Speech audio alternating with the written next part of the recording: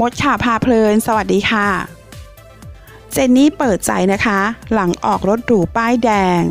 18 ปีกว่าจะมีวันนี้ค่ะ เป็นอีกหนึ่งนักร้องวัยรุ่นไทยนะคะ ที่มากความสามารถจริง ๆ ค่ะสำหรับสาวเจนนี่ได้หมดถ้าสดชื่น หรือว่าเจนนี่รัชนกสุวรรณเกต คนที่แต่งเพลงฮิต เลิกคุยทั้งอำเภอเพื่อเธอคนเดียวค่ะ ล่าสุดนี้เจนนี่ก็ให้ของขวัญกับตัวเองด้วยการออกรถป้ายแดงให้กับตัวเองในวันสำเร็จการศึกษาด้วยนะคะ โดยได้โพสต์ภาพรถหรูคันงาม พร้อมข้อความผ่านทางอินสตาแกรมว่า ของขวัญวันรับปริญญาของฉัน ฝันไว้ตั้งแต่ตอนเด็กๆ วันนี้ทำได้แล้วนะ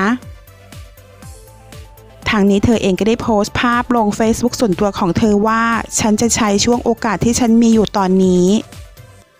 สร้างทุกอย่างให้ได้เยอะที่สุด ทุกอย่างจะมีเวลาของมัน ถ้าวันหนึ่งมันหมดเวลาของฉัน ถ้าวันหนึ่งที่ฉันต้องตกลงมา ก็ขอไม่ตกแบบก้อนหินที่หล่นลงมาอย่างรวดเร็วแล้วก็หล่นแล้วหล่นเลย แต่ขอให้ฉันคนนี้ตกลงมาดังเช่น ขนนกที่ค่อยๆล่องลอยลงสู่พื้นดิน